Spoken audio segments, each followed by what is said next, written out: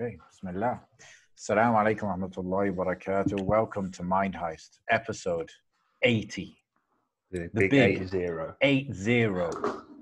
I'm Oh. here with the man himself, Mr. Akhi Tweet, beard shorter than normal, Muhammad.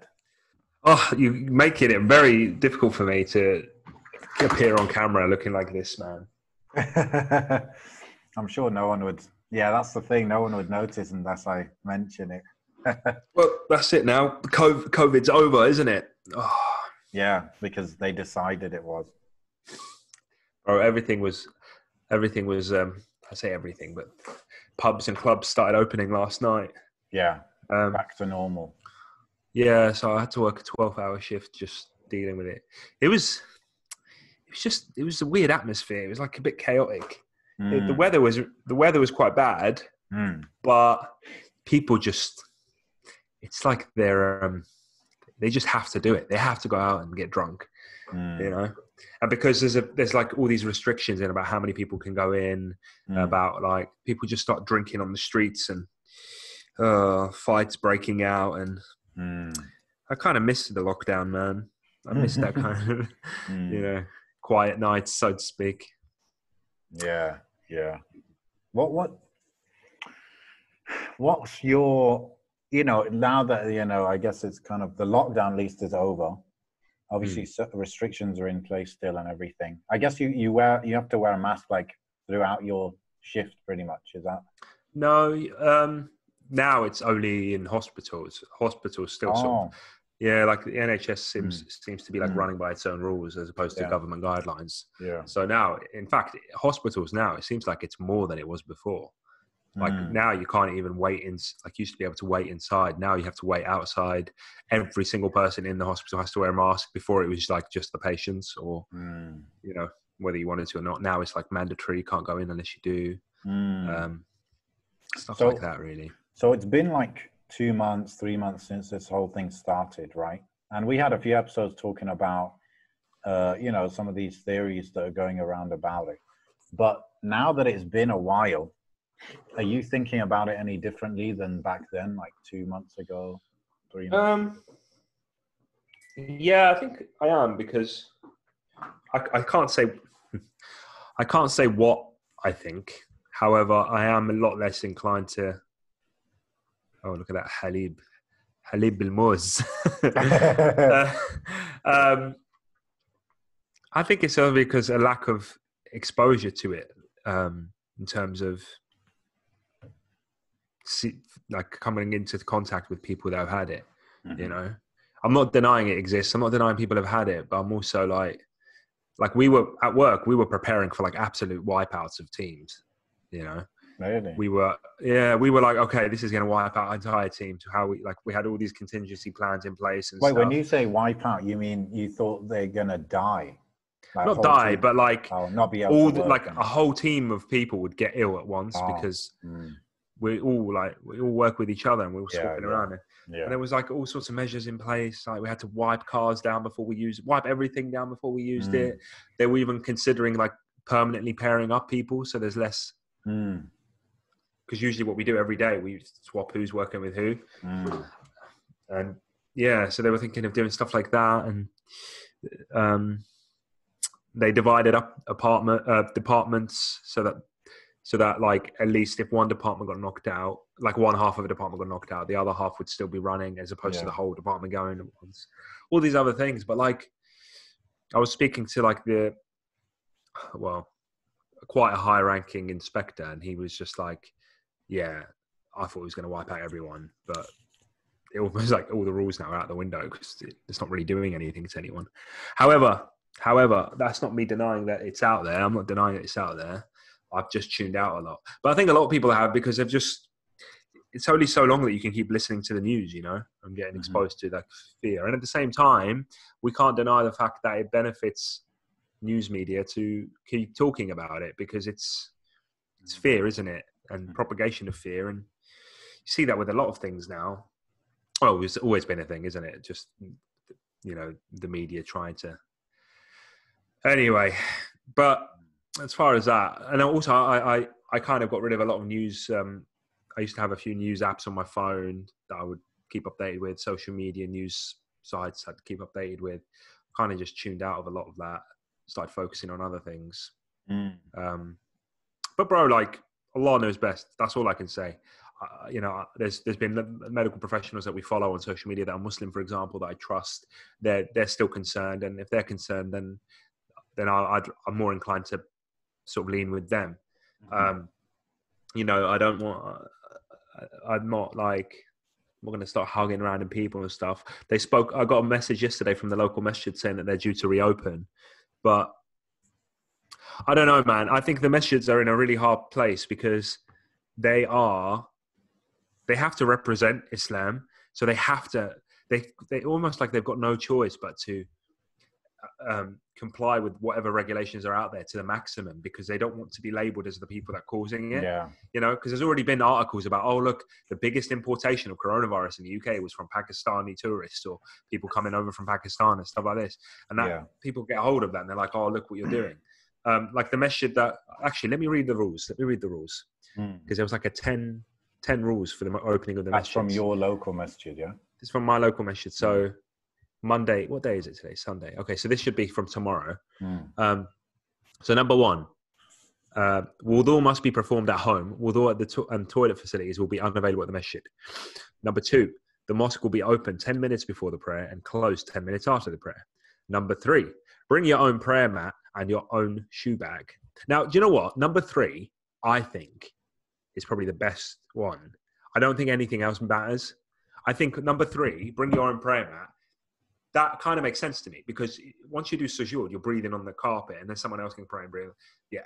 If everybody's got their own prayer mat, I don't think the whole standing next to each other is an issue. I honestly don't. Like, based hmm. on, I'm not an expert, but I just don't, it, it doesn't compete with, it doesn't compute with me. However, like, yeah, if I'm like sujood, breathe on, on a carpet, yes, I can understand. If someone else went on that carpet, yes. Yeah. So I think that is the best thing, and I think that should have been the only real solution, really. Um, maybe we'll do at home, like try and have wudu at home and come in. Yes, that that makes sense to me. Uh, face masks or covering are highly advised. Sure, I mean those two together. I think wear a face mask, and but the whole thing about like uh, social distance prayer, oh, I can't. I, I just doesn't sit right with me. Like I can't. Have do you you know what I mean? It, any shuyukh kind of talking about that as a ruling? Like, is that, I haven't I haven't looked too deeply into it. yeah. I've just the only thing I ever saw that was quite critical of the whole positioning of you know the ummah at the moment was Mufti's sort of like questioning about it all because I'm I think Mufti's been running Jummah as, since this all started because he's still uploading every Friday YouTube khutbas and you can still hear somebody doing the adhan. Yeah. So it's like I think he's still running. I don't know where, maybe in a private place and stuff.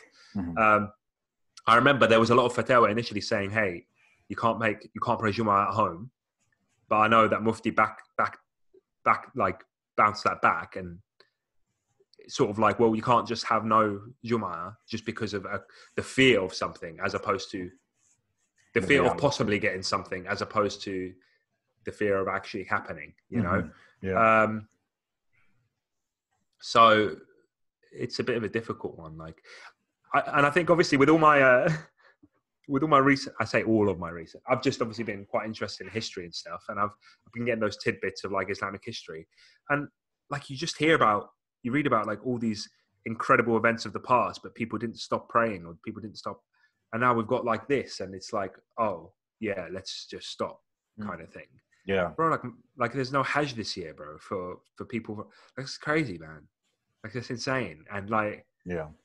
i don't know how muslim i don't know if muslims are hurting in their hearts because of it or if they're just if it's just exposing the hypocrisy within us of yeah we don't mind Mm, either way yeah. you know? Allah yahdina, yeah. You Um, know, over I'll- here, the.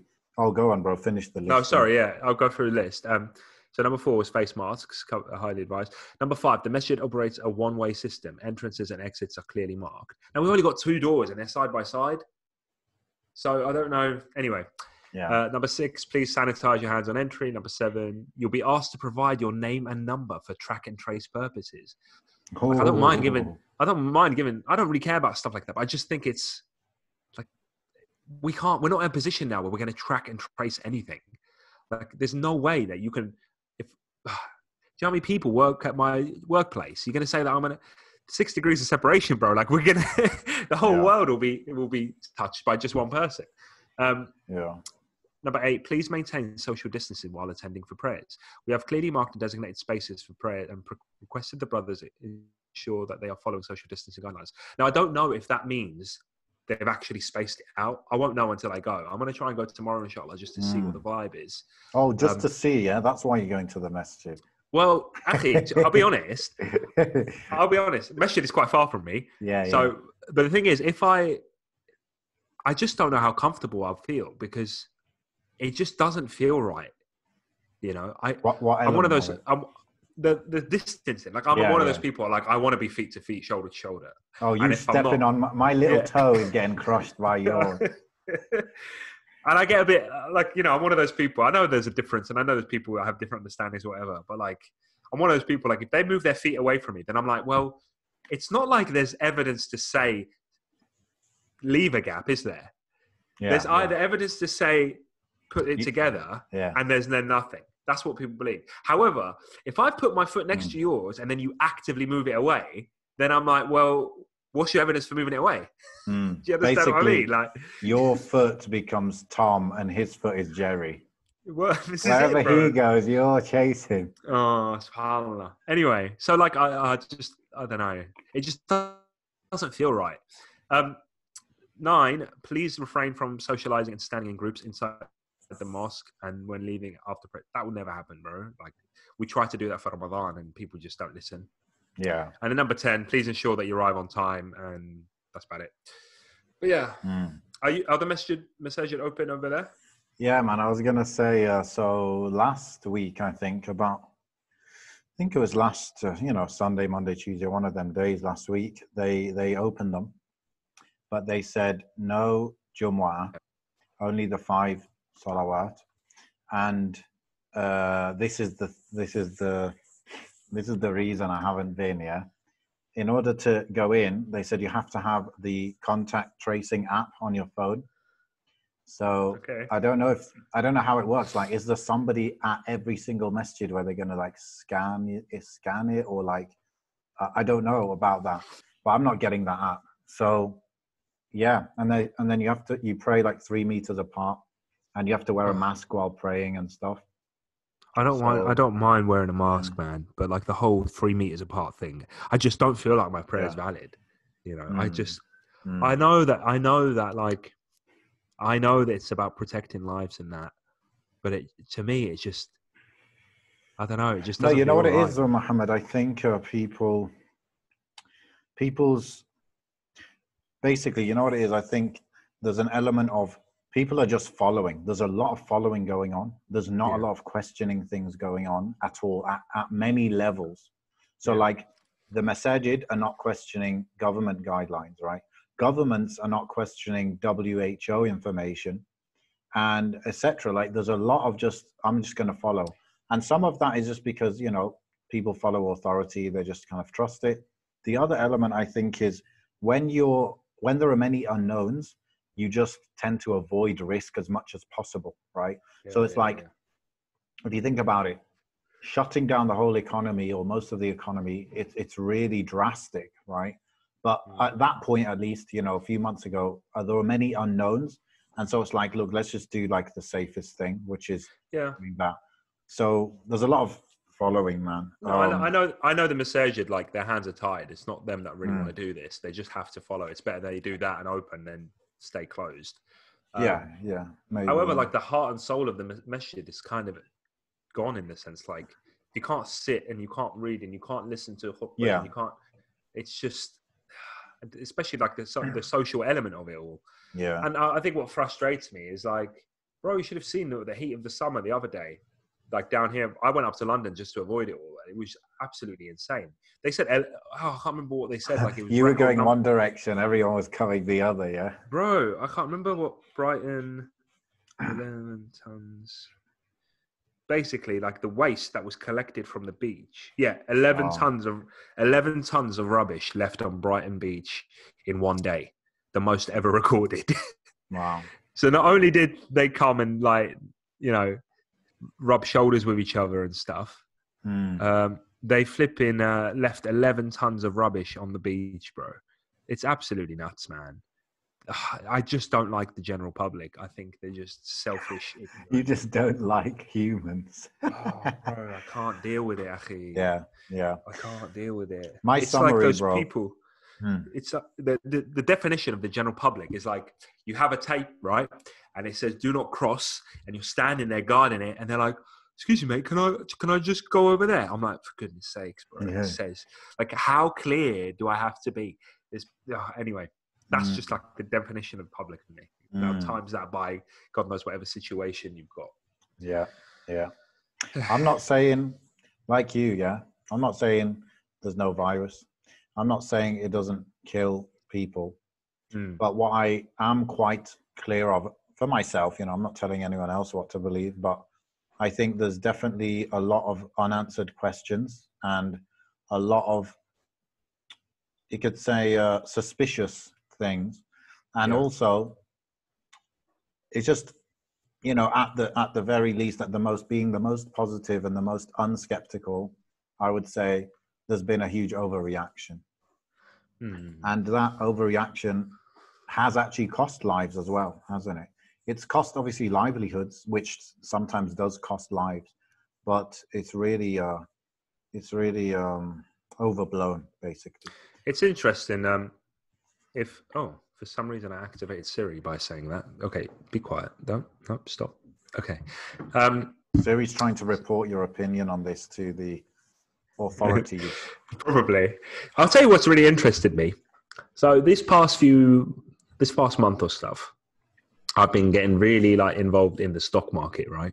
okay Yeah, all bro. in on tesla bro pretty much pretty much um, but we'll talk about that in a little bit um, and what's fascinated me is i have now because i am invested in certain companies and i am now like basically like i find myself just looking at the stock market every day which is something i never ever did before didn't really interest me but now that i'm now a participant in that you know in the economy so to speak um, suddenly I'm thinking about the world and the world events in a different way, Mm. which kind of makes me feel guilty because now I, I've, I've, it's almost like I took a slice of like, I don't know, the mind of politicians and all these rich people and stuff.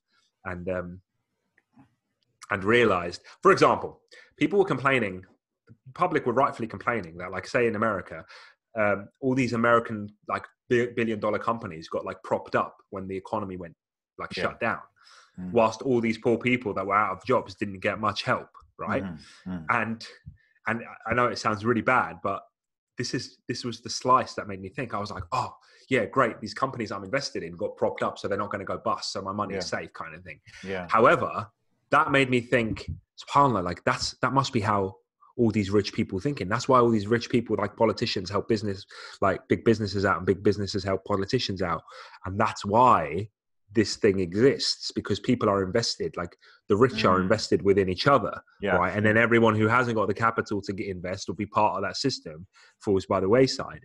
And and then I felt I felt guilty in a way because I was like, oh, now I'm like a participant of this sort of this sort of uh, cycle Mm, or this yeah. circle of like inner circle of because I was thinking, the- yeah benefiting it from because I was like, oh, um, you know, if this company that I'm invested in uh, just goes bust, then I don't want it to go bust because I'm invested in it. Oh yeah, the government propped it up. Sweet, that's awesome.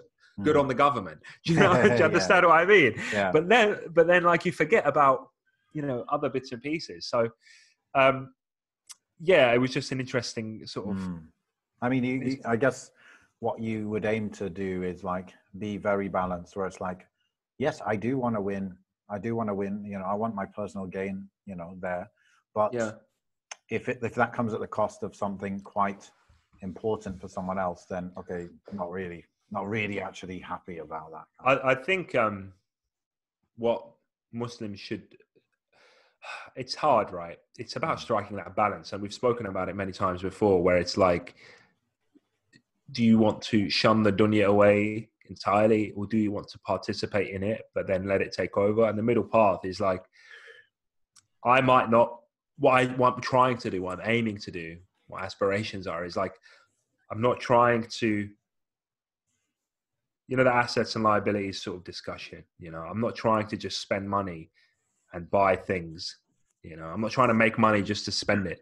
Mm-hmm. but i would like to benefit others and benefit the ummah with whatever i can attain. Like I, i'm still deeply affected by this ramadan bro. I think this ramadan was exposed me deeply to the concept of like charity and longevity with charity you know not just like okay i fed you a meal it's more like, you know, look at this infrastructure we've built for these people, and now that they can rely on them, you know, rely on their, this infrastructure that we've laid the, the groundwork for, and how many how many people could really live such better lives if we laid the groundwork and the framework for them to mm. To do that sort of stuff and it's not just about like okay i would love to be able to just set businesses up for people as opposed to just oh, here we are, here's a bag of rice kind of thing. Do you know what yeah. I mean? Like enrich people's economy, like local, locally, like local economy, like little villages, bro. Like have someone set up, like uh, you know, help somebody set up some sort of trade thing or like some food trade or some something, bro, something to just instill some of that goodness in people. Because uh, inshallah, the people that you help will then remember that and then help others. It's like passing it on, isn't it? Um, and also, they'll make dua for you, and they'll, mm. uh, you know, be a witness for you. Yeah. Mm. And I think you know we we like a good economy is is an interesting thing, and if we can learn to to buy and sell from each other, and we learn to, I know it's it's been spoken about a lot, but like into community sort of spending, like intercultural spending, where you've got like communities that only buy and sell from each other, and like with we've got this uh, inferiority complex anyway, where we just partly because of ourselves, like we are to blame. Like we just don't like supporting Muslim businesses. We don't like supporting startups. We don't like supporting or sharing people's efforts and stuff like that. And then also those who do own, those Muslims who do own that kind of stuff are very. I'm not saying all, obviously not. I'm saying you do find some that are like cut corners very easily or feel like they can rip off their Muslim brothers or, you know, they use the inshallah card, but they don't really mean it. Mm. Um, all these sort of things. Actually, we should be the top of the food chain when it comes to morality and, and, um, do you, you know, think business that, and stuff. Do you think that Muslims should like support each other's businesses just because they're Muslims? No, no. I, but I think they should if it's I should. I don't. I don't. I don't like being forced to buy or purchase something I don't want. I didn't want. Yeah. Like I'm not. I'm not really for that. Like I don't mind sharing that kind of stuff, or if there's something I'm passionate about, but like yeah. Mm. But like I don't like the whole pressure me into buying from you when I don't actually need any of it, yeah. what you are selling. However, however, if there is, you know, if somebody is, if a Muslim brother or a Muslim company is selling something that actually I could also buy from a non-Muslim, and you know the quality is more or less the same, or even if the quality is a little bit less, actually, it's about the long. Yeah. It's about the yeah. It's about what they're trying to achieve, you yeah. know, and you can because, see it because mm, ultimately, ultimately, you helping them is good for you as well and your family because mm. inshallah that will empower the Muslims in general and uh, you know I guess do for your brother what uh, you would you would like your brother to do for you. Definitely, bro. I've, I've got something for you then, yeah. Go on. Since since you said what you said, yeah. Now I've cornered you. Go on, corner me. Uh, have you heard of Rizq? Yeah, I'm showing it on the screen. Oh, bro, I signed up to that and I got an email. I never downloaded it. Um, mm. Is it just? Um, go on, explain it to me. Yeah, so it's it's basically a digital only bank. Um, mm-hmm. Like Monzo. Yes, exactly. It's like Monzo actually more than others because it's it's UK focused. I think for now, it's definitely Europe focused only. So I don't think, for example, they have like a dollar account or anything like that. Um, and it's it's like no interest and easy to give charity through it and Sweet. stuff like that. So I'm I'm waiting to see what comes uh, other than those things. But of course, like if if I the thing the problem is uh, I I need a dollar account. Like you know, I have a Monzo account, but I've never used it, and I might Oh, just close it. Um, so I, I definitely don't need this, but if if I w- did, then I think it looks good, bro. With the, I know actually, I know of the brother who who launched it.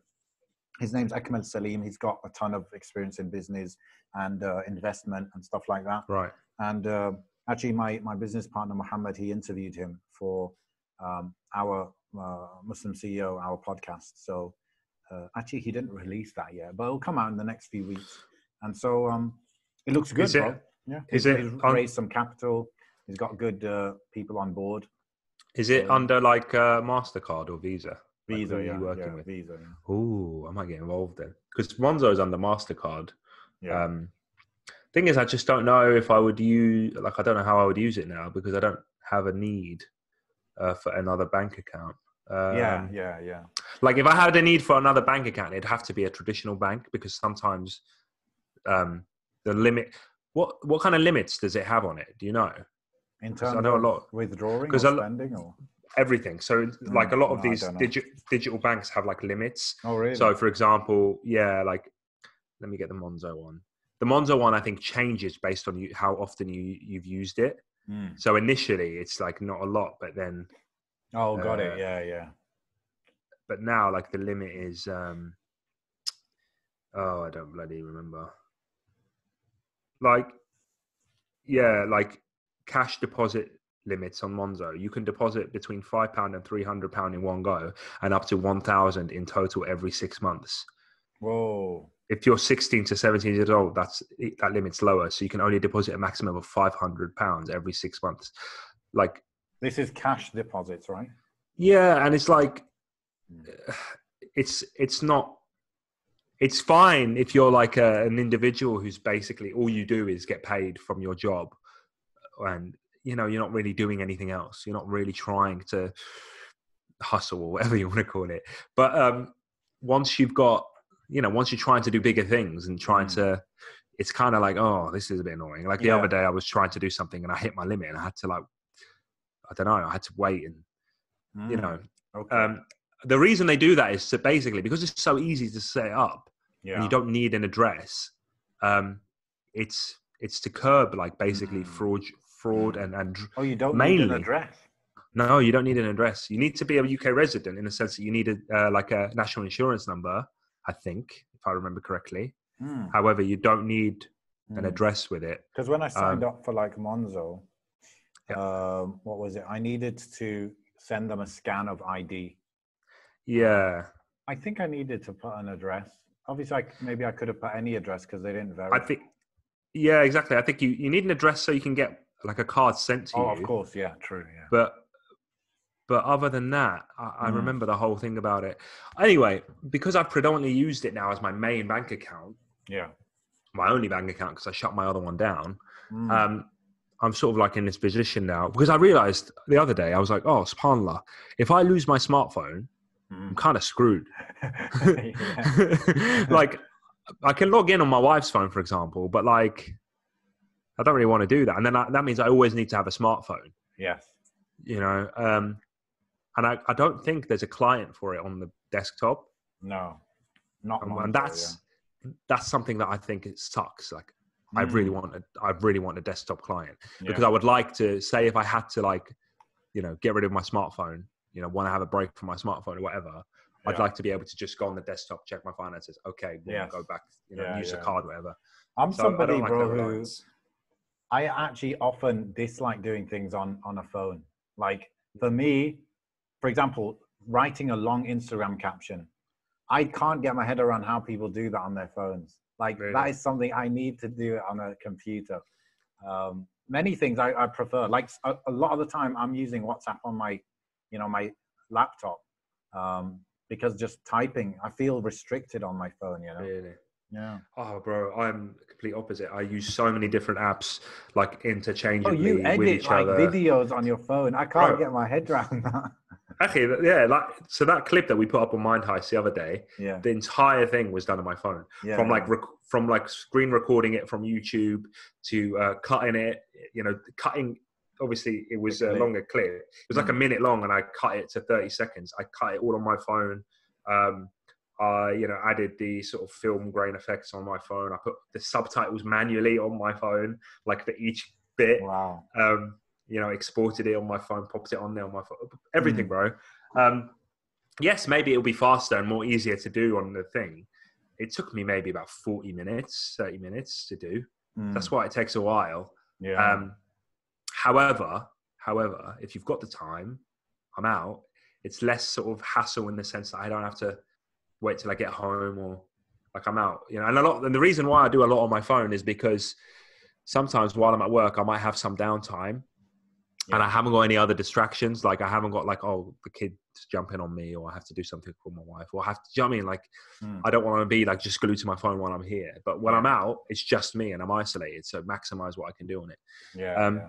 but people haven't unlocked the potential, bro. Like, you, uh, especially like, okay, I, I used to do like a lot of graphic design stuff on my phone, and um, a lot of people would ask, like, "Oh, how did you make this?" Blah blah blah, and I I used to send them like a pack of apps that I use in conjunction with each other. Mm. Like, okay, this is what I use for like cutting backgrounds and putting stuff together.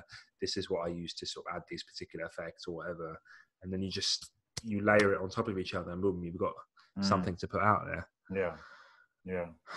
But yeah, bro. So this Rizq app, what I would like to see from it is because they never mentioned right that the money that is in your account is not being invested in haram things. Maybe we could assume that, but out of all the selling points that they have on their website, they didn't really mention that. They just said it's interest free, right? That means Yeah. I'm not getting interest, but is my money being invested, you know, in places I don't want? So that's something that is could be unique to a Muslim's banking app. Um, So that's a point. Um, that's like one of the main ones. Like, what else do Muslims want? I think this would be difficult. I know, but if I was making a, a banking app for Muslims, I would be thinking of how I can give loans Yeah. interest free. Yeah. Um, that would be quite revolutionary. I would like it to also fully integrate with like something like LaunchGood or something like that. Yeah. Do you know what I mean? Yeah, like yeah. I'd I'd want not even not even like oh here's a referral or a link that takes you there. I want like full integration. bro. I want- yeah. I think that is like that's almost like to me like the revolution of smartphones or the Mm. revolution of even like Tesla, for example, like taking jumping from the um from just auto manufacturers to actual like this is almost like a smartphone vehicle kind of thing. Mhm. Like yeah. because with the software updates and Mm. like every sort of iteration's got its new um so I think for, for Muslims yeah uh, I think I think for Muslims, I think we need to stop thinking of money is like this whole separate entity. I think it should be you should see it as part and parcel of everything we do. Like it should be. You shouldn't look at money as just money. You should look at money as like a form of ibadah if you if you're thinking about it in a particular way. yeah, Um, such as okay, we spoke about mini deed before. I don't know yeah, I thought we spoke about it in depth. I can't remember, but like mini deeds are quite new and it's quite like early days. However, the whole concept was brilliant because it was like you're not just you're thinking of you're bringing social media and money and actually fully integrating it as opposed to like click this donation link to go no no Mm. no let's let's make it part and parcel of the whole thing so You'd like, love yeah. know bro. WeChat. oh really what's that No, I mean, uh, you know, WeChat is basically the, the super app uh, in China where everything is, in that one app. Um, Right, yeah, What yeah, that yeah. means, of course, is that you know they know absolutely everything about you. But from from one app, you can order a taxi, you can uh, pay for stuff in a restaurant, in a supermarket, whatever.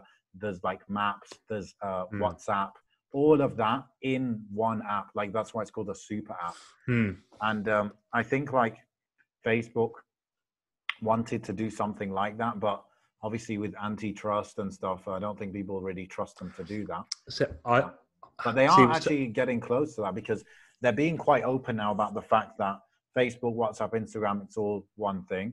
And then they, they, they're definitely moving towards like they're going to launch Facebook payments soon. They already Hmm. launched uh, sending money with WhatsApp in Brazil. So they've launched that fully. yeah Um, so they're trying to create a super app, um, but we'll see if they're allowed. I mean, that yeah, I could see like even Facebook doing that. I mean, one one thing about fully full integration would be cool was like would be like even like crowdfunding funding amongst your family. Like if you, I mean, it's hard to get everybody on the same platform. I can understand that. However, like if you had like all your family members were on this particular platform, um, then you could literally just crowd fund together for anything. So it could Mm. be just like, could be anything. I think it could be like, oh, uh, you know, so and so's uni fund. Do you know what I mean? Or so and so needs books or whatever it is, and they just literally pop Mm. pop a little box and oh, all the family members see that and they want to compete into who's going to give the most and boom, boom, Mm. boom, and that's done. Yeah. Get friends involved, that kind of thing.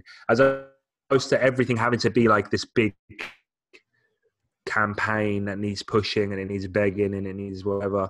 Um, but anyway, I don't know. Maybe I've just I'm just dreaming of something that I don't I can't really actually Mm. put into words.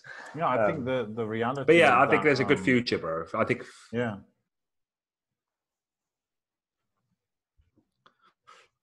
I think Muslims are, are you know, that there there are a lot of Muslims now, like such as this Rizq app, such as other uh, Muslim creatives and pioneers in this sort of field. I think they're actually doing a lot of good work. I think we're getting to that stage now where we're actually we're not just copycatting. our- exactly, yeah, not copycatting. Yeah. That's the thing. It's like what you know. What technology do Muslims need for for our needs, like our unique needs?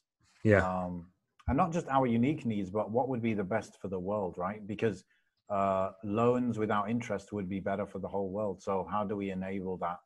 Um, I've Mm. heard of at least one very creative solution where, like business loans, at least, where it's like um, instead of loaning money in exchange for like that added interest, you loan money, and that's like you're buying part of it, but you're also agreeing to sell that to them at a later date, and so you can make profit off it if as long as the company grows, stuff like that. Uh, obviously, I've just uh, kind of summarized that idea, but the point is, yeah, innovation. If we think about our unique, um, you know, uh, challenges and needs, then inshallah there'll be a lot of innovation. yeah, bro. Hmm. Yeah. we just need to stop like this individualistic attitudes when it comes to success like it's it's annoying because you, you've even got like these you, you've got these individuals that like uh, that use islam as a way to gain themselves and they try and just use you for that purpose. For example you have all these multi-level marketing schemes and these pyramid schemes and god knows what else and it's like oh akhi do you want to you know what i mean do you want to know how to flip in make residual income? Well yeah i already know. That's why you're talking to me because you want it not me. Do you understand what i mean? Like but no, like let's be sincere, let's be real, let's you know, don't give me that nonsense. Like I can, anyway, you know what I'm trying to say. Like, yeah. bro, I would want my brothers as like as soon as I started like, um, so like this this for example, when it came to investing in the stock market and, and learning the halal and haram of it, and learning it as a process because it was always something that like came across as very intimidating to me. Um, but for years, I was like, you know what? Nothing is as intimidating unless you actively learn it, you know. And the resources out there to learn anything these days is is great. So I went on like Udemy, for example. I was like, listen, get me that absolute novice beginner course. Like, just teach me terms, teach me like what this means, what that means, what it's all about. Mm. So I'm like halfway through that, but I didn't really need to do the rest. Mm. Thought did that. Big was like, boy oh, now. yeah, yeah, yeah. I was like, okay, I understand. Sweet, I get it, kind of thing. Um, and then, then I just exposed myself to that kind of almost like I don't know what you want to call it, like that world online. So like following pages, following blogs, following just even if there was reading articles where I didn't 100% understand what they're talking about, the more I exposed myself to that kind of stuff, the more I was like, oh, I understand now what that means, or I know what like this means for that company, etc., etc Mm. and then immediately bro like i i've got i'm in like a group chat with a few brothers maybe 10 20 brothers i don't know and it was like i started just talking about what i'd learned to them and then i realized like a lot of them were like some of them were like oh oh i don't stay i don't really want to know about that stuff like it's a bit of a gray area for me i was like no no no i think you're just intimidated by your lack of knowledge and that's Yes. why and then that was what kind of found out and then there were some other brothers that had done stuff like that before, but actually they were more on the haram side of things because they'd never looked up the halal and haram of it. And I was like, oh no, no, have a look at this article by this sheikh or have a look at this and this and that will explain why that's how and then by the end of it like three four five brothers were like oh actually i want to learn more about this. And then suddenly i felt good about providing resources. It wasn't like hey join me let's make i want to make money out of you. It was more like oh look at this list of resources i used. I put a, li- a little pack together all these things i'd found and put together and started using. Mm. and i mm. gave it to them. And now i can speak to brothers about stuff like that because at the end of the day i remember like I remember speaking to these brothers before that I'm quite close with them, and I said to them, like, Ikhwan, if anything ever happens to me, like I have trust that you guys would like support my family and look after my kids and stuff. Do you know what I mean? And I'd say, yeah, I'd do the same look for you guys. Like that's the kind of that's the kind of friendship you'd want, especially as all of us are parents and stuff. Like yeah. you want to have a close knit of brothers that like you know there's still going to be male role models in your kids' lives. Do you know what I mean? Like you know that there's still going to be people that can tell your kids stories about you and stuff like that if anything was to ever happen to you.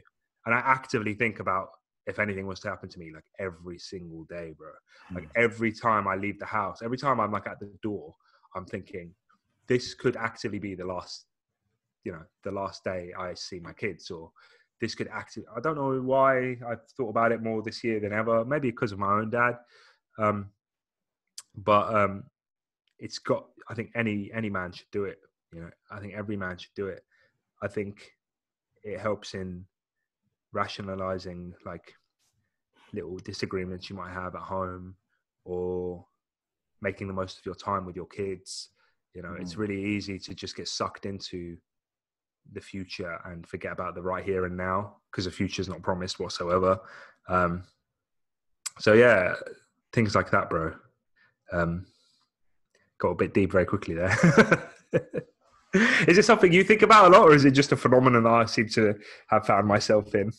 You talking about the whole uh, community thing, or um, the death like, thing? The death thing. I mean, yeah, like it's a combination of two. You want a, a community sort of around your family, so that you see it now. Like, if somebody dies and they haven't got funeral money, then the community gets together. But like, you want a bit more than just like strangers getting money for you. You want like actual people that you can know, actual yeah. people that knew you that you could be like, tell your kids, oh look, this is Uncle so and so, and if anything happens to me, then he'll be around to look after you, and he'll be not not just yeah. like financially, but just as role models. Do you know what I mean? Um, yeah, yeah.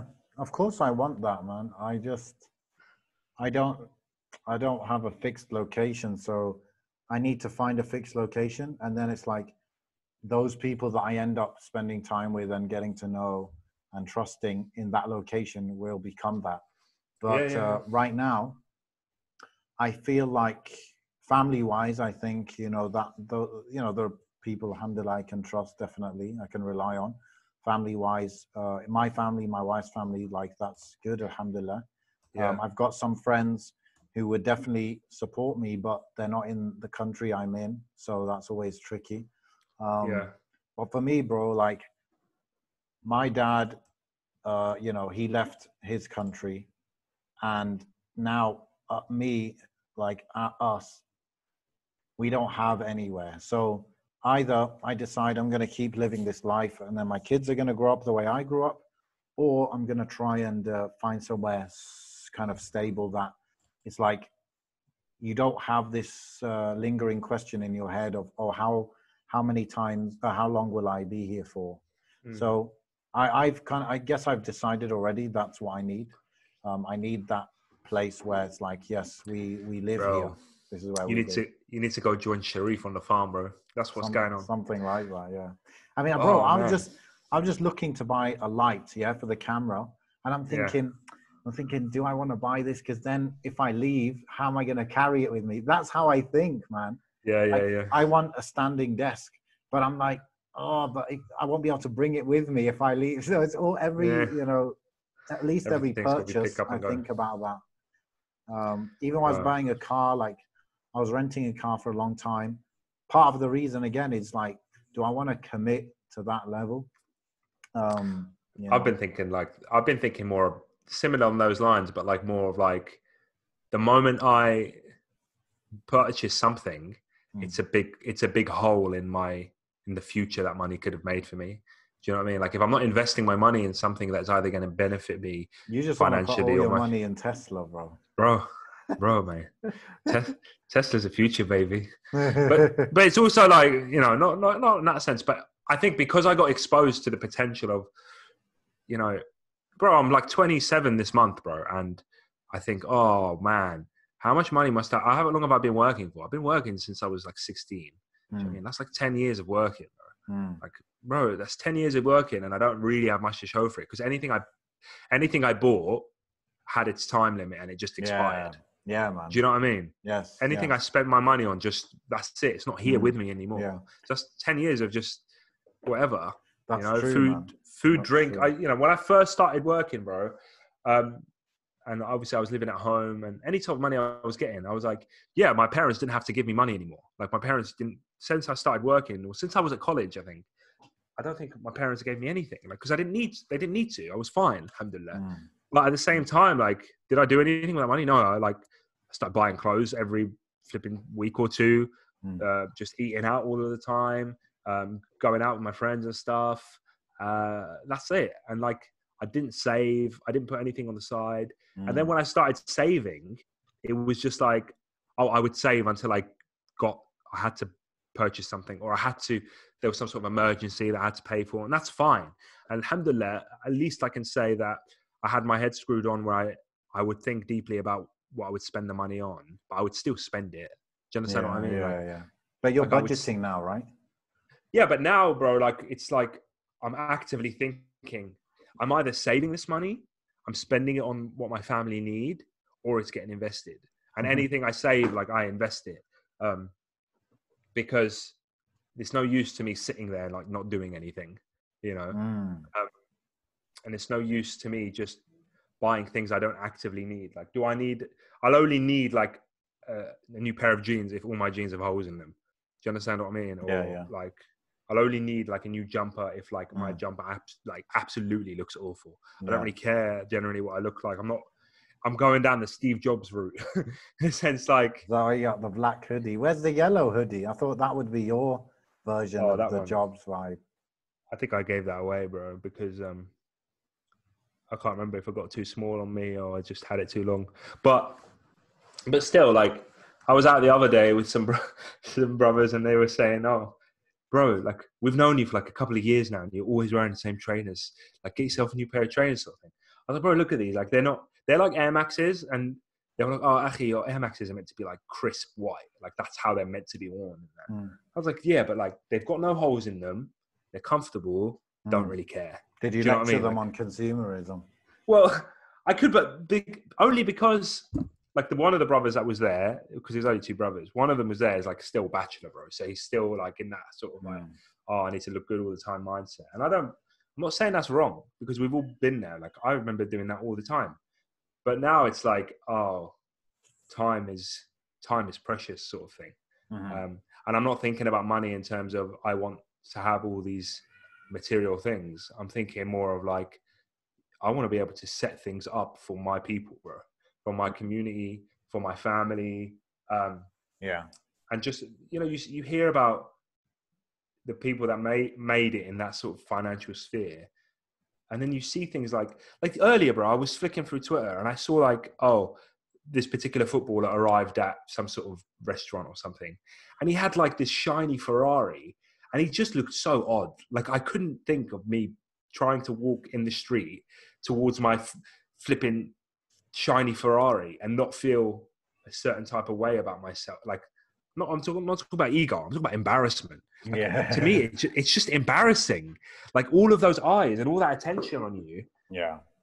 It's like you know that nobody there is looking at you with like I don't know admiration. They're looking at you with either jealousy or they're looking at you like you're showing off.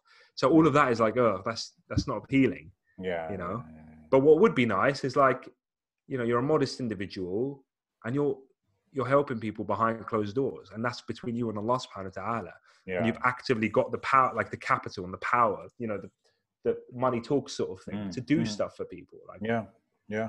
When I think of, alhamdulillah, I think I'm quite good with saving because I, I guess I never got into any of this uh, consumerism thing ever, Mm. right? Yeah, yeah, yeah. Because, like, I didn't even make money till later on in life. And then when I did, by then, me and, and anyone I was surrounded with were just fully not into consumerism at all. Like, Mm.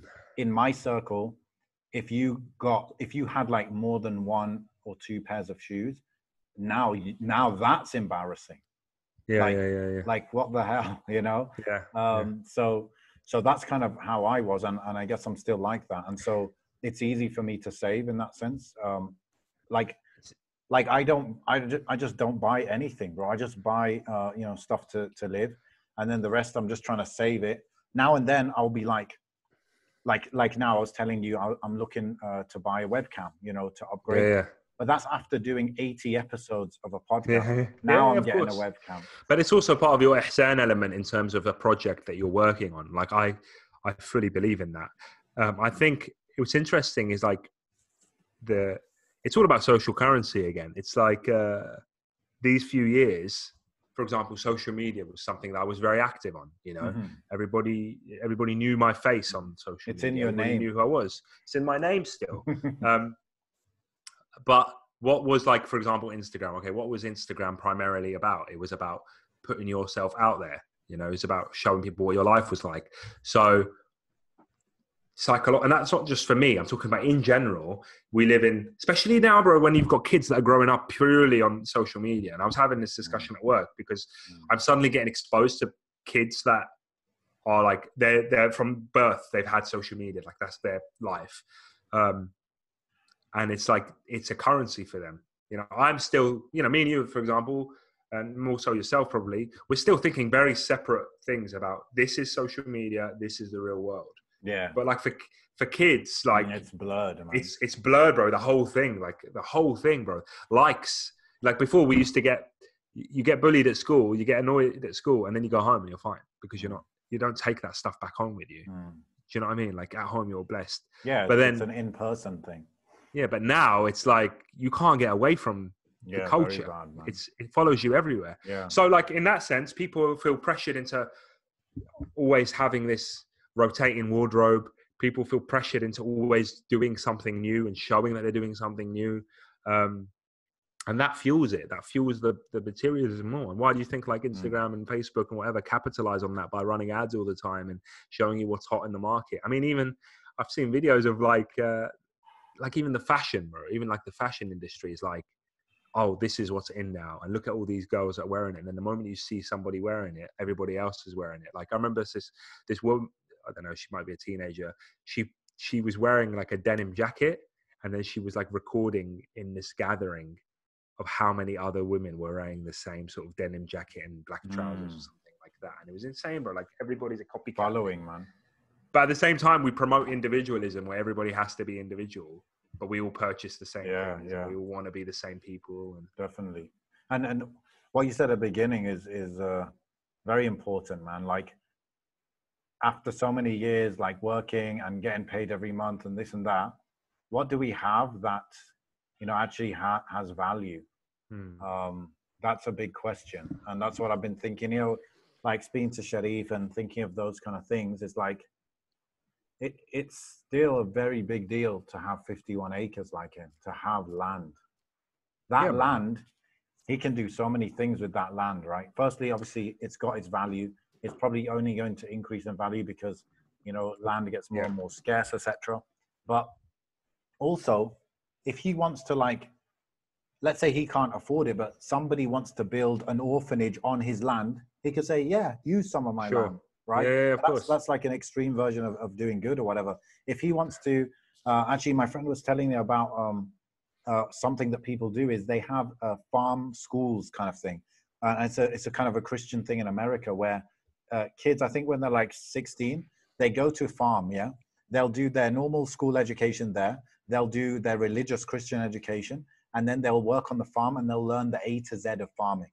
So by the time they're like uh, 20 or 21 or something like that, they will be good in all three of these. So they can go to uni, or they can be a fa- farmer. They know the, the ins and outs of it, or they can become like a priest or whatever, right? So imagine like doing doing that for Muslims. You know, um, uh, it's just it's just so many opportunities are open and and it, it, like what like when I when I buy uh, what is it, bro? What's something that people know like Nando's, right?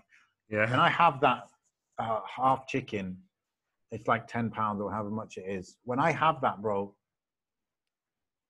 I actually paid that ten pounds probably for the first four bites of it. Yeah. After that, even though I'm still eating it, the kind of the the enjoyment, if you like, of it is actually gone. Like most of the enjoyment, there's actually research on this. The enjoyment of eating comes from the anticipation of eating it, not from actually eating it. So Definitely. the first bite actually tastes like 50% better than the second bite. And then it goes yeah. downhill from there. Yeah. So we're spending money on these things and yes we have to eat but we don't necessarily have to eat you know these fancy things all the time and uh, you know i, I eat out and so it's fine but it's just like what percentage of your income are you putting towards something that will last you know mm. something that's mm. worth something even if it's uh, putting into charity makes it last right yeah putting it yeah. into uh, land makes it last into property into i don't know like if i uh, buy a camera and this and that to make something educational, for example, which will again be there available for people to benefit. And uh, uh again, that lasts. So what are we building that lasts? I think. Oh, that's the thing. Like, I need to like I need to see tangible sort of. I need to see the equation when I spend, bro. Like the only the only thing and the major thing that I spend most of my money on is my family, bro. And that's and when when it comes to my family, it's like anything goes because at the end of the day, I see it as kind of um, I see it as feasibility. Mm. You know, best challenge. You know, if my wife wants to go out and do something, she wants to go somewhere. Oh, my internet connection is un- unstable. Oh, okay. Um, mm, I thought it was mine. There, go. Sorry, I was going to say like um, I, I also think that we've entrapped ourselves in a way. The, the culture that we live in, the societies that we live in that work nine to five, they a lot of them, the majority of them, are saving to basically put house, put money on a mortgage, mm, right?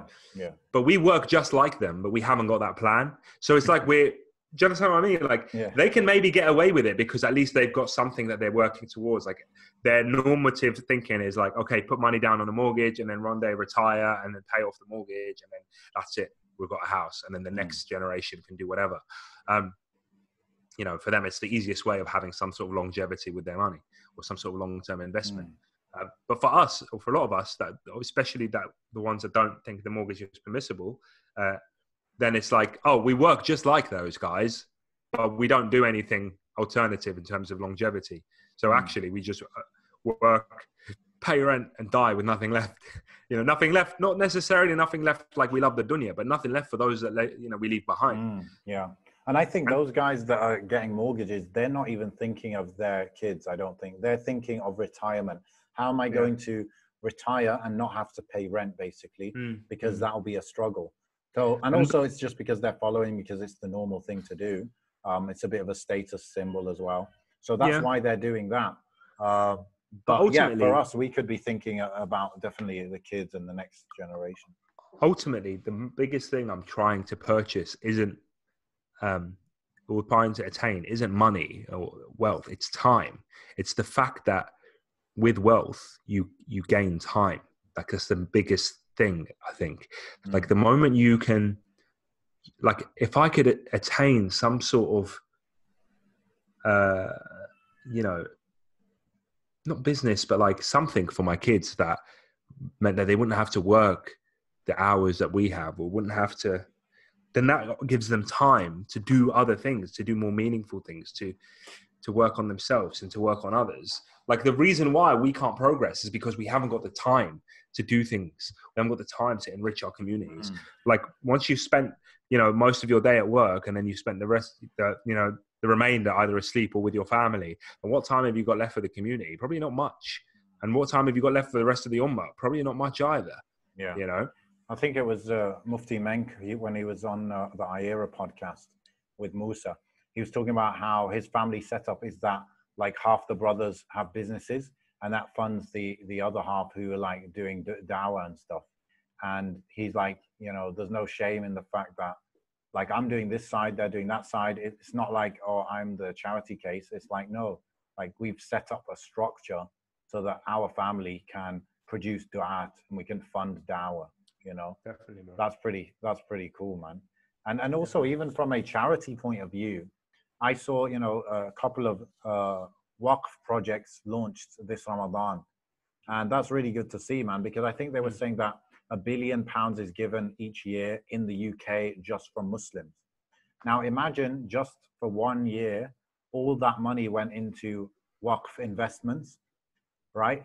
Let's say, you Mm. know, 10% annual return. That's a hundred million pounds every year generated for charity projects, right? After a one year uh, investing in it, right? Um, 100 million pounds every year. And that 100 million pounds is not coming from the Muslims' pockets, right? The next year, Muslims could still give another billion, but that 100 million is always there, right? And yeah, that, yeah, yeah. that is like mind boggling when you think of it in terms of it, it- when you think of the efficiency of the giving that we're doing and the long termness of it, if that's a word. So, yeah, man. What what did you? What were your?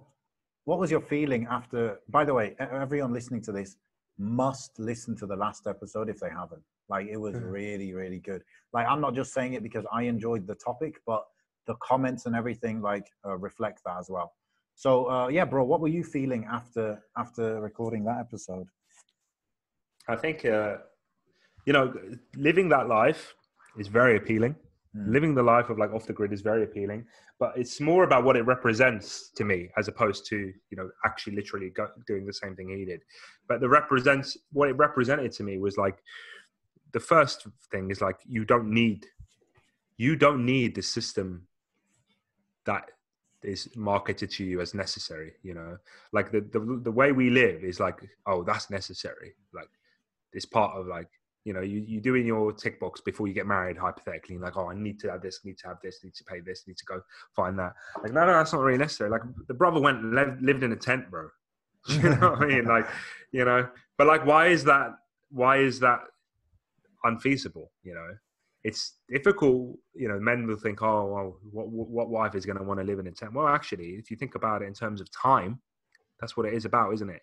It's about the time that you gain for not having to chase paying you know rent and not having to chase paying this and like made he made an investment actually he he worked worked worked got enough money to buy land and bought the land right okay now i don't need to think about where to live got the tent in some sort of setup to live there bro like i saw the other day someone lived in a someone converted a bus like a school bus into a house and it was Mm. just and i saw it and i was like that is absolutely incredible like. Especially somewhere in america where you know the the the, the area you can travel to is vast. So Mhm. you could combine that with what we have today. Like okay let's say the online business right? You pay for like some sort of sim card or some sort of 5g or 4g internet connection on your phone. Boom you've got a hotspot. Right get a laptop start some sort of online business start some sort of like teaching online whatever it is online some sort of skills you've attained. Okay boom you've got employment you've got income coming in right? Then you drive that like every month you're driving that bus to a different city to a different area park it up What- do you understand what i mean like boom that's it you're living rent free all you're paying for is gas and maintenance on that vehicle save up in case anything ever happens to that vehicle and you're good to go do you understand like i remember at one point my parents lived in a caravan bro when they Mm. were working in the UK. Um, I don't know the ins and outs of it. All I know is that's what they did. And yeah, why did my dad do that? Because he was busy building and like trying to save and invest over in Tunisia. Mm. Sweet. Now he's got that. Do we pay rent in Tunisia? No. Do you know what I mean? Are there other things to pay for? Of course. You know, is healthcare free? Of course not. But that's one thing eliminated. That means the next generation don't have to think about that. As long as it, but the most important thing is that your next generation, and there's that's the one thing that I admire Sharif for, is that at the moment, and we're inshallah Allah continues it that way, this next generation have got their heads screwed on, bro. Like they're getting involved in that kind of lifestyle. They've been Yeah. brought up on that kind of lifestyle. It's not like you you you've done all of this stuff and you've you've spent all your time thinking about money and wealth and future that actually you haven't focused on the nurturing of your kids. Mm. And then when you hand it over to your kids, they're just like, oh, I'm going to sell all of this and I'm going to go and live in the city and live nine to five Yeah. like the rest yeah. of people do. That's the biggest fear. But no. Mm. So ultimately, uh, taking back ownership. Actually, like we are Muslims, bro. We are people that right now we don't have our, um, you know, our. I mean, I'm not even getting get into this deeply, but we know we don't have our like Khalifa and we don't have our Sharia. We don't have like the those sort of things in place. But and then we're like we're like this, bro, to the people that are above us in the sense that that provide for us, like whether that's benefits, whether that's the food chain, whether that's the system, whether that's like mass production, you know, um, we are just enslaved to that kind of system, bro. And what Sherif was sh- showing us was incredible, bro. Like, bro, he's got. I mean, he's. I know he's not trying to do it hundred percent, but he's he's got his food, bro. He's got his. Uh, you know, he's got his meat. He's got his his crops. He's got. He get, if it's something he needs that his neighbors have, then he would rather trade it with them than he would trade it with some sort of mass-produced nonsense, bro. Um, it's about breaking up that system that has basically got a monopoly over everything. Mm-hmm. Um, and then putting that power back into the hands of the community that you cherish and the community that you um, that you you want to share those values with. Um, like your fellow it makes you wonder, like you know, like some of the big masajid in the UK, mm. millions of pounds have been put into that, right? Creating that. Mm. And yeah, it's true. Uh, those masajid tend to serve like tens of thousands of Muslims, right? But it does make you wonder, like, if that, like, five million pounds, let's say, if that was put into buying, you know, huge amounts of land, like in an area like his, and you know, people can come over, maybe they buy it at subsidized cost, and then building a masjid there, building houses there, building a, like you can i think i mean maybe it would benefit less number of people but the amount that it would benefit those people that do live like that would be huge. Basically you would be establishing a fully islamic village because with that amount of money from based on what he's talking about the prices and all of that we're talking about hundreds or thousands of muslims who could come over own land uh, have their houses they could easily, within that money, they could build a school, build a masjid. And now you're growing up, you're living very Islamically, bro. Even in America, even in New Mexico. Yeah, bro. You um, mentioned it briefly. I mean, look at the yeah. Amish community, bro. Like they just they hold on to that culture. Yeah. So and somewhere part of the reason I think is because you're in the middle of nowhere and, and you don't bother people and they don't bother you. And Definitely. you're living freely, bro. He was saying yeah. everyone was like all distancing and masks and stuff. He's like, we were eating iftars together. We were praying tarawih together because yeah, yeah, ultimately yeah. no one was, no one cares about what, what we do.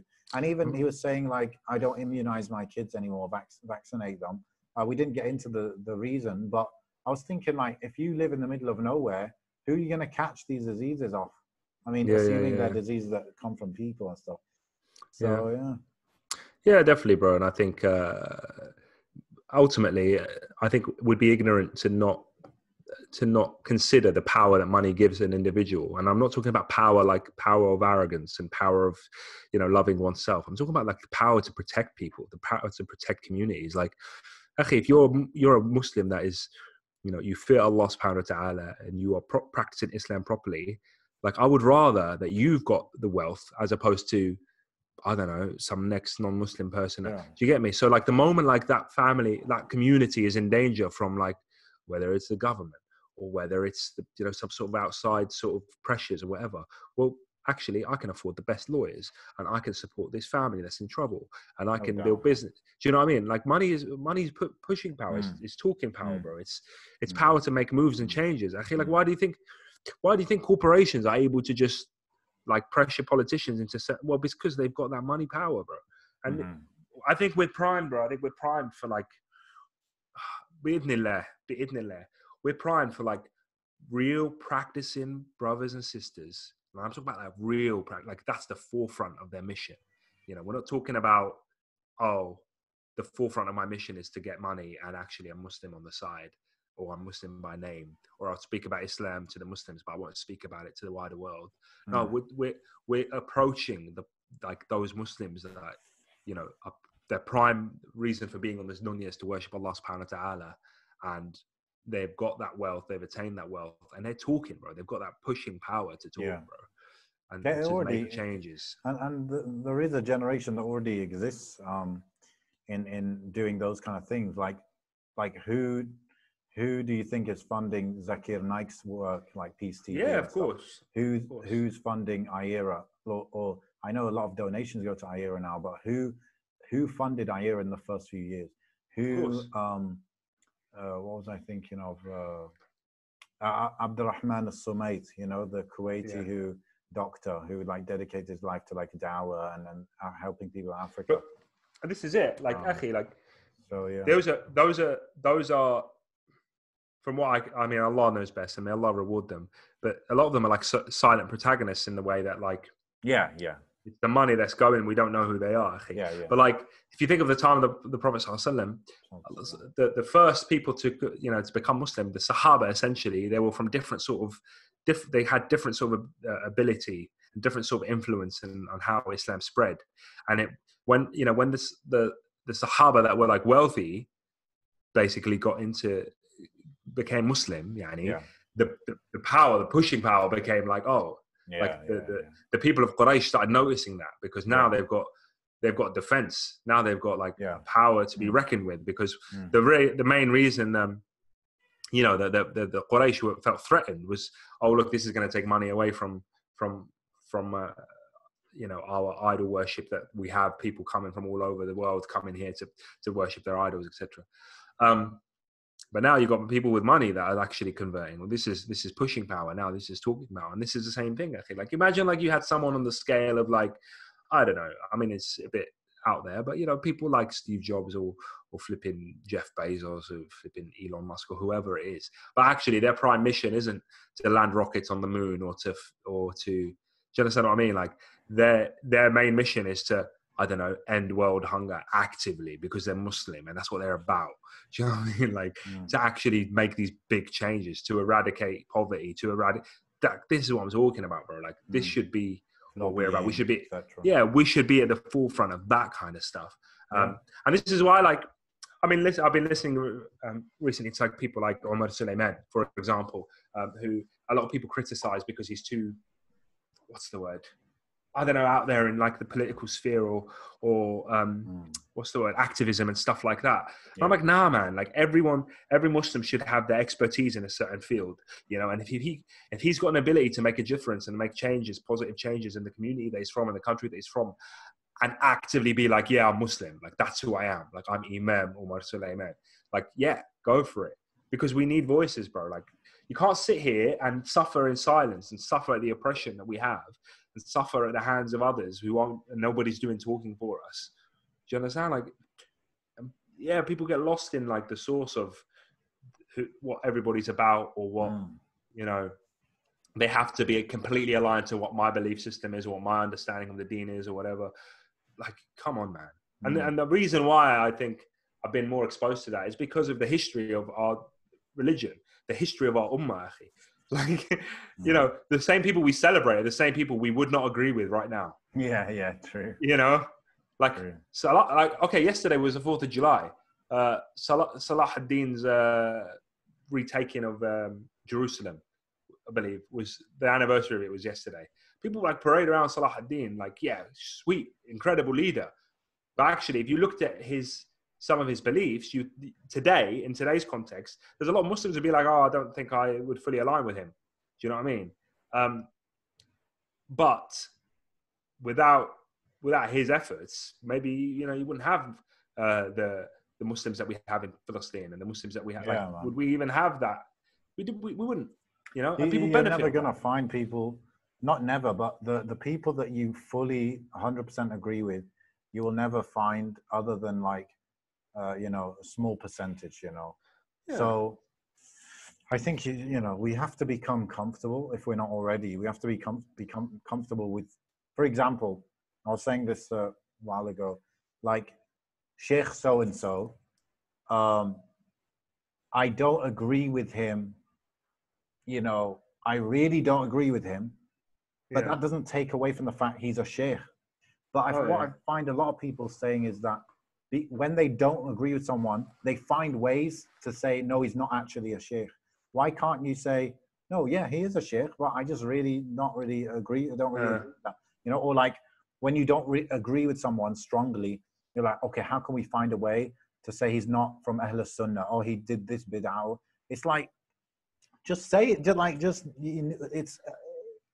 Uh, I feel like it's just out. You're not living in reality if you think that way. Like, Yeah, and it's, uh, it's you will it- never align 100% except with certain, probably the people who are closest in your circle or you study the, from. the, po- the people that are close there's yeah. people that are super close in my circle like Mm. that i consider like some of my best friends and muslims Mm. you know amazing brothers and like some of their understandings and not their understandings but like some of their I'd, I'd say maybe more methodologies of how like the dean should be like the dean should be spread and stuff like i'm absolutely like not on like i'm Mm. not on that flex whatsoever akhi.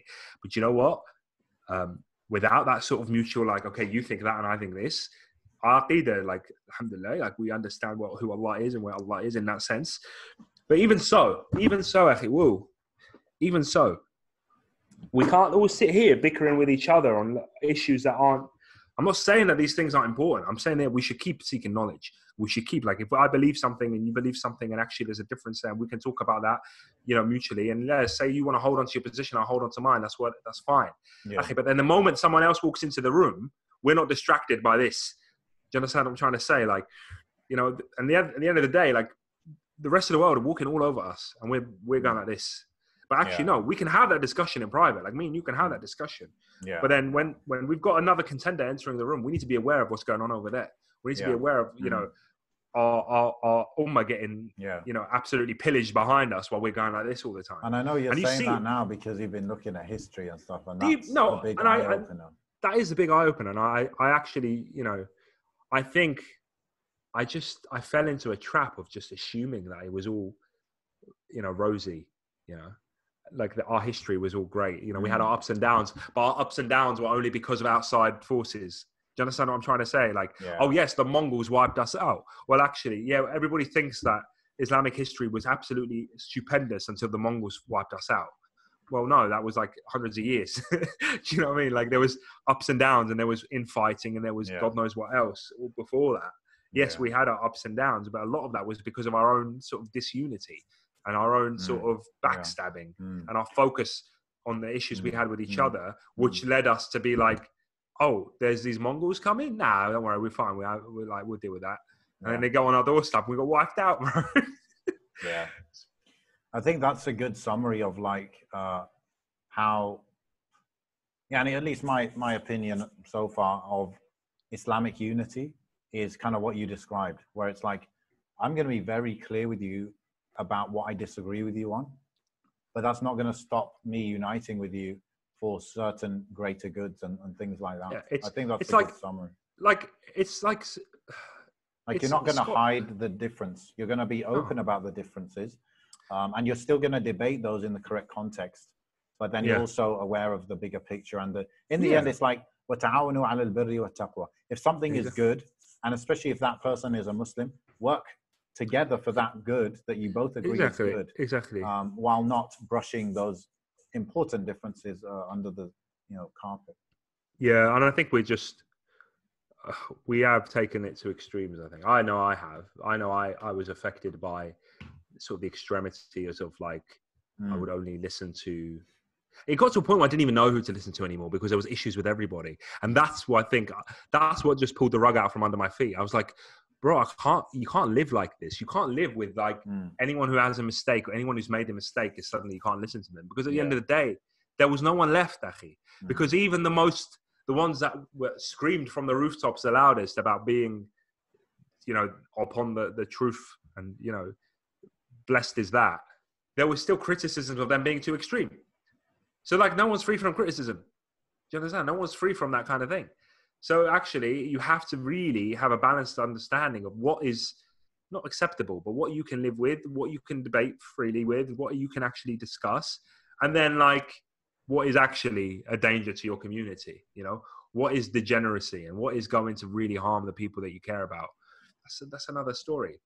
Yeah. but like meanwhile like we're doing that and we're doing this and actually there's you know I, I sound really shallow with it all but these are these are true arguments these are real real arguments like how how long has syria been at war for do you know what i mean like how long have we actually, like we years are going by. Like it's been like over a decade now.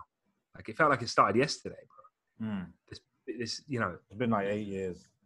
Uh, it eight, feels- nine years. Yeah. but it, it just feels like forever. It feels like forever. Actually, the other day I was at work and flipping picked up a a a refugee from Iraq, like six- 16, 17 year old kid came here on a truck. Uh, hasn't seen light for a month because he's been in the back of a truck since Turkey. Like doesn't even know how he got here. Like he knows he got to England, but he doesn't even know the route. Do you know what I mean? Like the truck driver opened the back of the truck and he just ran, didn't even know where he was. Walking for two hours, ended up down here, picked him up, spoke to, like I was the only person to speak Arabic in the whole you know station. So I spoke to him, like got his story. I was like, bro, like you know, and Allah knows best what those stories are. But the fact is, these are people's lives. These are part of our ummah that are, Yeah. that are running away from things, bro. Yeah. It's nuts. And then you've got like, uh, you've got like, okay, I have to talk about this. I know we've been going on for ages, but like it's mandatory, and I'm sure you've seen it already. Um, the uh, the the flipping uh, the French political move that happened uh, yesterday or a few days ago. Okay. Is fro- news to me. Okay, so France returned the skulls of 24 Algerian decapitated while fight while fighting French colonists over 170 years ago. After they were decapitated, their skulls were taken to France as trophies and displayed in museums of man in the Museum of Man in Paris. So I don't know if anyone can see my phone, but like Yeah. that's like all the skulls that were set up in the museum. These are skulls of like our, our brothers and sisters that were in museums that were decapitated. This is them back in Algeria, and they've obviously draped the Algerian flags over them and given them proper like, you know, funerals and stuff. This is the skull of uh, Sheikh Musa al Darkawi. That's a picture of him, and that's actually his skull that they had on display because they Yeah. took over. Uh, Mm. you know, France returned the skulls. 24 Algerians decapitated while fighting French colonists. One of the skulls returned was Sheikh Musa al Darkawi. Uh, Sheikh Musa was an Egyptian, a student of Sheikh Mohammed bin Hamza Dhafir al Madani. Sheikh Musa settled in central Algeria in 1829 and joined the colonial resistance. He fought alongside Sheikh Bu- Bouzi, no, sorry, who led the colonial resistance during the 1849 Battle of Zat, uh, Zatcha, a village in northern Algeria. Uh, anyway, what I'm saying is like, bro, like, look at this, man. Actually, like, those are the Mm. actual skulls of our ummah on display in a museum in France, and only to, only this week have the have the French decided, oh, do you know what? We should give this back to to to the Algerians. Like, this is real, bro. Like the the real sort of oppression of our people, and we are busy with each other. Like we are busy with each other. Like that hurt me, man. To think like, you know, uh, you know, like, uh, actually, you're Algerian, bro. Like, any one of those skulls could be one of your ancestors. Same with, I mean, we're all North African at the end of the day. Like, Yeah, my yeah. wife, the same thing. Like, any one of our ancestors have been through stuff like that. Actually, like, Mm. I look deeper into that, like that sort of um, element of them decapitating people. Um, bro, they were they were parading around like the skulls of our people, like on on the top tips of their rifles, bro. It's insane. Mm. It's insane. I mean, this for me, the biggest thing is with this is is whenever um, I mean, really, we can generalize. Most of these uh, European countries, whenever they talk about civilization and enlightenment, just don't even listen. They have No, no, they have no place to speak from. Yeah, No place th- to th- it's it like it's like what I said yesterday after I shared those two articles. I said like they sit on their high horse of morality and and like flipping, um, you know, um, the the the the democratic system and how like oh we're we are leaders of the flipping free Mm. world Mm. based on the blood that they've you know they're sailing a, their boat on the on the blood of of Mm. others Yeah, like their ocean is literally red with blood yeah, um yeah, they've got And- no, but- no uh, authority. They're not coming from. but but we can't sit we can't sit and say that like we can't read the history and say oh look point the finger at them we also have to we also have to see what led us to be in such a weak position which Yeah, is that element of disunity which is that element of like the, bro like the fact that you know the whole of north africa bro split itself up initially because of the infighting of the muslims to then have colonialists come over and be like okay that's mine that's mine that's mine that's mine you know Mm. it's nuts man It's Mm. absolutely nuts. And on top of all of that is the knowledge, the lack of knowledge, the lack of knowledge that actually kept us united in the first place. That Yeah. one thing that unifies all of us is our worship of Allah subhanahu wa ta'ala, is our tawheed, you know, in Allah and our belief Yeah. system in Allah and with with correct knowledge comes correct unity as well and and balanced unity right Yeah. uh, not the type of unity where you know you just anyone who claims to be with you you're like yeah yeah calm and not the other way where it's like no you have to be amongst the 1% of people who are exactly like me so Yeah. uh, again that comes with proper knowledge and being uh, not just uh, the actual knowledge of the law but i feel like a wider knowledge of like society history things like that man Definitely, bro. yeah i'm i'm a bit i feel sometimes i'm a bit too much into the money thing because i know we're talking about money and using money for for good influence sometimes i feel like a lot of the work i'm doing in my business and you know my business like i guess i could be taking more out of it for my gain but i put it back in because i'm like no i can't be you know milking this cow until the cow is a certain size. Like it's got to Yeah, get yeah, to a certain size. So um so i think of that. And then when i think of for example Seera masters or the the book i'm con- i'm thinking how can i make this book uh profitable when i advertise it so that then i can advertise it more and i can make more profit? And none of that is for me. I'm just thinking how can i reach 50,000 muslims a month using ads. Yeah, Yeah, that's how i'm thinking because Yeah, yeah. and that you know i put money in to the ads then hopefully you know brothers and sisters will support it and buy and then the money again will go in to get to reach more people. And as long as it's like break even it's positive because the positive is that i've reached those tens of thousands of people Yeah, of course. But at the same time, like you're Mm. not every Muslim's goal, or not every Muslim is destined to be the one or has the skill set to to do certain like things or to lead in certain areas. Like actually, Yeah. like if your book is focused on what it's focused on, then that could actually spark the person to do to make the change to do something Yeah, about massive, you know. And that's your that's your lane, you know. Yeah. That's your just Yeah. like now. I feel like I know it's, I know it's really like I, you know it's really low level. It's really minuscule but like the graphic design stuff I do, like you know, I'm I'm very particular about who I work with and who I support and whatever. However, like, bro, if I'm gonna make something for somebody, I'm gonna make sure that that's like the cutting edge of art because the tr- the stuff I try to do, and I've always tried to do, has been like, hey, we're not doing. We're not sticking to this bubble that we've created for ourselves, where it's just like let's do a bit of Islamic calligraphy and let's no, like I want my stuff to compete with those top people that are out there. Mm. Like, do you know what I mean? Like, I'm not gonna settle for, you know, here's a cheap little thing, or Mm. slap it on your project, or slap it on your t-shirt, or Mm. slap it on whatever you're doing. No, like, bro, like a lot of the people that that engage with my overtly religious art Mm. are non-Muslims. Mm. Do you know what I mean? Like, the message that I tried to, yeah, but that not made it, but like. I want to compete on that level. Yeah, like yeah. I'm not competing with like my peers. I'm competing Yes. with a completely different audience Yeah, but I'm bring, Yeah. but I'm sending the message to them Mm. directly Mm. through my work, Mm. yeah and that's what it's about. Mm. That's the same thing, like actually, like this Rizq thing, like this Rizq banking thing.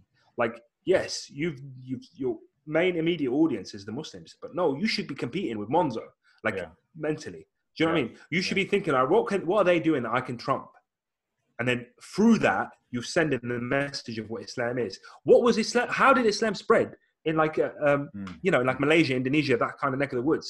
It's through trade. It's through coming down there, being better than the locals in regards to trade, in regards to the product, the quality, the Mm. business, you know, the Character, business, yeah the character, the business, businessmanship of it all. Mm. I mean, like, yo, these Muslims know what they're doing. Like, what is this religion? yeah You know, it's hard. Like, So even it little things. it is Akhi. as simple as that sometimes no? Yeah.